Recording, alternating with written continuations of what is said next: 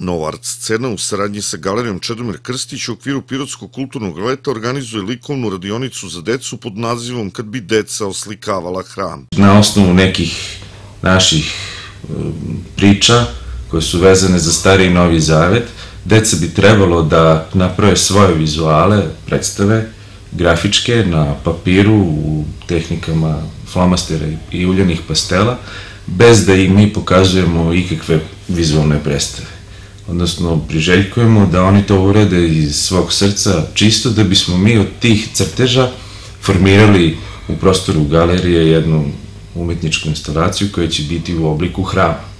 I taj objekat će biti prilagođen visini tih učesnika, odnosno hram će biti za decu. Radionicu su osmislili, sa decom će raditi uz arhitektu Mirka Stanimirović i akademske slikarke Bojana Nikolić i Dragana Dragutinović. Od 20. do 25. Eh, je planirano izvođenje same radionice, likovne radionice, gde imamo to upoznavanje eh, ovaj, sa decom, sa temama, sa načinom rada, eh, sa samom idejom zapravo, a zatim će biti, ja mislim, dva dana ćemo, možda jedan dan, posvetiti, vidit ćemo kako se bude napredovala sama radionica, posvetiti postavljanju samog hrama ili, poput u zavisnosti od broja radova, možda to budu i dva hrama kao jedne prostorne instalacije. Svi zainteresovani za učešće na ovoj dečijoj likovnoj radionici mogu da se prijave preko maila hramotpapira.gmail.com ili da dođu direktno u galeriju Čedomir Krstić u ponedeljak 20. avgusta nešto pre 16 sati. Za mlađu decu neophodna je roditeljska pratnja.